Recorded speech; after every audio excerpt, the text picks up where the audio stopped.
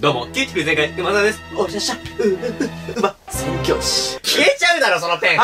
というわけですね、今回馬沢ビデオ、都市伝説シリーズでございます。ザビエル。というわけですね、都市伝説の世界的権威、ミスター関を呼んでおります。先生どうも。もうは。リスニングテストか 今回の都市伝説は2017年に世界的大ブームを起こしたハンドスピナー実はあのブームは悪魔崇拝者によって起こされた可能性が存在するのねというわけですね、今回そのハンドスピナーの都市伝説について触れていきたいと思います。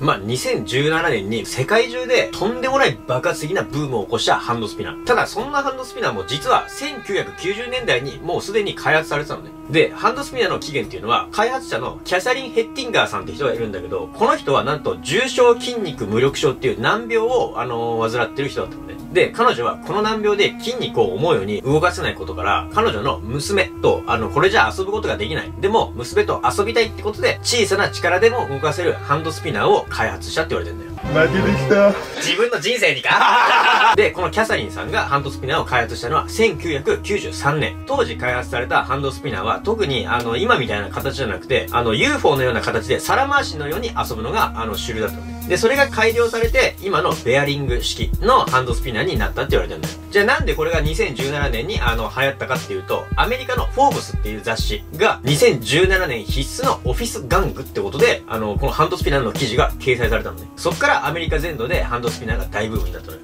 この男の子すごいね。これ一生回したって言ってるでしょ、うん、もう死んでんじゃねえか。ねお前うるさいやつだな。そんなハンドスピナーももしかしたら悪魔崇拝者があの広めた可能性が高いのよ。じゃあまずあのハンドスピナーを回す時って OK サインのような感じで中指と親指で真ん中のベアリング部分を挟むようにする人が多いのね。でこの OK サインよく見てみるとこれは何ですか？これは666ですよ 信じろお前は。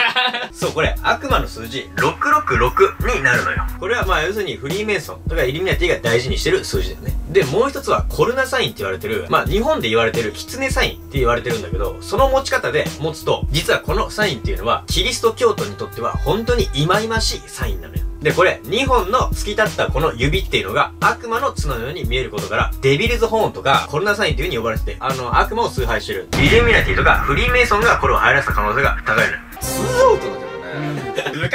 なって。で、ハンドスピナーのいいところって、あの、無意識に回してしまうよね。何回も何回も回してしまうよね。つまり、この666のサインで何回も回させることによって、潜在的にフリーメイソンの意思を植え付けてんじゃないかって言われてるんだよ。で、悪魔悪魔ってことでしょ 悪魔大回転だな。ただこれだけじゃぶっちゃけ、あの、信憑性ないんだけど、実はハンドスピナーの持ち手の部分を作った会社を辿っていけば、ものすごいことがわかるのよ。この持ち手のベアリングの部分っていうのは、まあ、例えば車を製造する際には、この120個のベアリングが必要になるように、動く道具には欠かせないパーツなのね。で、あのー、2013年以降、自動車用のベアリングの部品っていうのが、あのー、驚異的な業績を上げてて、まあ、ハンドスピナーっていうのは、そのベアリング業界にとっては、さらなる売り上げを目的にされた玩具じゃないかっていう風に言われてるんだよ。で、その世界のベアリングメーカーの、まあ、重役の中には、フリーメイソンのメンバーが多数潜入してんのよ。で、あの、ハンドスピナーの基本的な形って、三角形の形してるよね。で、ベアリングの部分が、いわゆるあの目の部分になってて、あれはピラミッドに目のマークを無意識のうちに連想させるためなんじゃないかっていう見解まで存在するのよ。で、さらにぶっ飛んだ説をあの唱えてる人は、このハンドスピナーを回転させると時空エネルギーが大量に吸収されるって言われてるんだよ。で、一説によると、その時空エネルギーこそが、あの、フリーメイソンのエネルギー源なんじゃないかっていう風に噂されてて、子供がハンドスピナーを回転させれば回転させるほど、フリーメイソンはエネルギーを溜め込むことができるっていうような、とんでも説を唱えてる人も存在するの。アニメ見すぎじゃないの？まあただね、もう2019年現在では、もう結構ブーム過ぎ去ってるね。回したことないでしょ、だって。